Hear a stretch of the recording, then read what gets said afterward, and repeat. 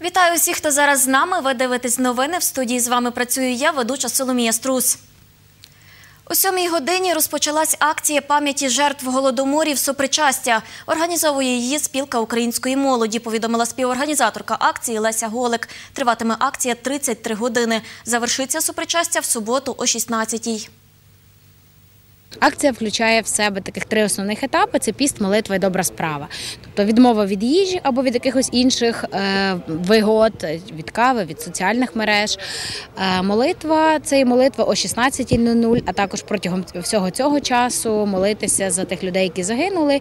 І добра справа е, засадничо, коли ця акція розпочиналася лише, то вважали, що в цей день, коли ми відмовляємось від їжі, то ці кошти можна витратити на придбання якихось речей чи пожертвування коштів на якусь добру справу. Вона не потребує жодної реєстрації, е, жодного висвітлення в соціальних мережах. Ми поширюємо ми поширюємо інформацію, ми поширюємо подію, е, але ми не потребуємо зголошень від людей. Адже це персональний такий внесок, персональний вклад в те, аби цей час був трохи інакше побудований, трохи більше. Подумати про українців, які не дожили до цього часу, не розвіялись по цілому світу і не продовжують українську справу тільки через те, що їх стратили голодом у голодоморах, е, геноцидах е, українців в нашій історії. До акції долучився тернополянин Євген Філь. Він розповів, що його бабуся Марія Ковальчук у час голодомору допомагала продуктами людям зі східної України. На той час Андрій Шептицький звернувся до віруючих, каже, нам треба допомогти братам українцям і зібрати продукти і передати на велику країну.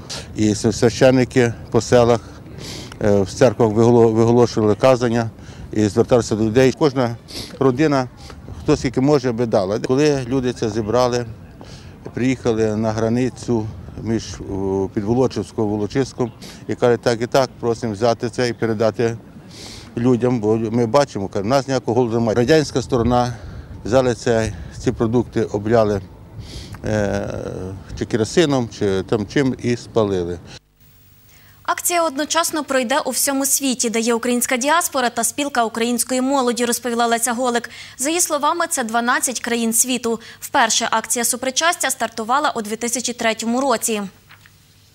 Силовики Тернопільщини навчалися, як діяти під час масових заворушень. Вони відпрацьовували звільнення заручників, вчилися припиняти заворушення та непокору засуджених. Про це повідомив начальник управління Нацполіції області Олександр Розпутній. За його словами, тренування провели на базі Копичинецької виправної колонії. Участь у ньому взяли представники підрозділів Нацполіції, спецпідрозділу СБУ Альфа, загін груп швидкого реагування, представники західного міжрегіонального управління кримінальних покарань, пробації. Міністерства юстиції, військовослужбовці Нацгвардії та рятувальники. Також правоохоронці вчилися вести переговори з умовними злочинцями. Навчання проводились без участі засуджених та ув'язнених.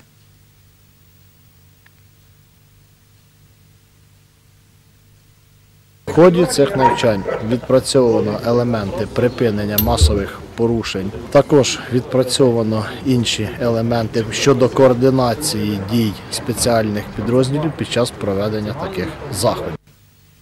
Сьогодні останній день осіннього табору Веселі канікули з Богом, який проводять в архикатедральному соборі непорочного зачаття Пресвятої Богородиці.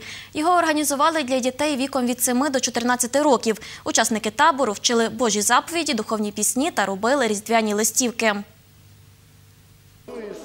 Це архікатедральний собор непорочного зачаття Пресвятої Богородиці. Тут розпочинається заняття табору із молитви і вивчення духовної пісні. Табір розділили на молодшу та старшу групи. Осінні веселі канікули з Богом проводять вперше. Це пілотний проєкт. Розпочався він 18 листопада, розповідає священик архікатедрального собору отець Роман Демуш. За його словами, заняття відвідує близько сотні дітей. Їх розділили на дві групи. Зазвичай літі, е, літком, коли ми проводимо цей табір, е, він дуже чисельний, і ми ставимо акцент на розваги, на спів, на танці. Е, цей проект є таким трохи пілотним проектом, і ми хочемо зробити цей табір катехетичним. Властиво так намагалися його робити протягом цілого цього тижня. В рамках табору ми розпочали з катехетичних прав віри, зокрема, розважали протягом цього тижня з дітками про 10 заповідей Божих. Восьмирічна Олександра Коваль, учасниця молодшої групи Несквік. Дівчинка два роки відвідує веселі канікули з Богом. Розповідає, чого навчилась. У нас дуже насичений графік. Ми танцюємо банси, співаємо пісні, ходимо на службу і граємо квести. Назару Парносову 14. Він відвідує старшу групу Діти неба. Ми малюємо всякі речі. Кожного дня дивимося якийсь е, різний фільм. Наприклад, в- е, сьогодні ми будемо додивлятися думками на виворіть. Е, Також нам, нам роблять всякі квести по місту. Я виграв магнітик. Інеса Лахман розповідає, як відвідала екскурсійний квест. Квест це ми, ми відгадуємо різні завдання. Ми ходили до пам'ятника і по- потім відгадували завдання. Поки молодші учасники переглядають мультфільм, старші малюють різдвяну листівку. Ярема Парносов розповідає, малюватиме листівку для тітки. Я буду малювати різдвяну ніч, як падає сніг і е, щось в тому дусі. Я буду дарувати своїй тітці з Америки. Е, я хочу знести цією листівкою е, якусь доброту, тепло, щоб якось порадувати людину. У Тернополі веселі канікули з Богом проводять з 2012 року. Їх організовують священики навесні та влітку, розповів отець Роман Демуш. Марія Котенко, Андрій Бодак. Новини на Суспільному. Тернопіль.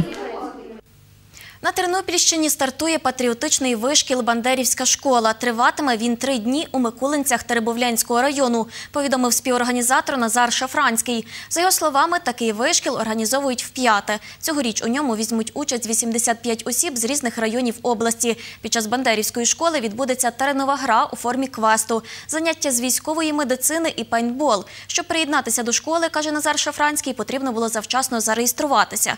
Відкриття Бандерівської школи відбудеться сьогодні о 17 годині. Там будуть наші кореспонденти. Дивіться репортаж про це о 19.00. Це всі новини на цю пору. Наступний інформаційний випуск дивіться о 17.00. Також заходьте на наш сайт і Фейсбук сторінку ЮА Тернопіль. До зустрічі!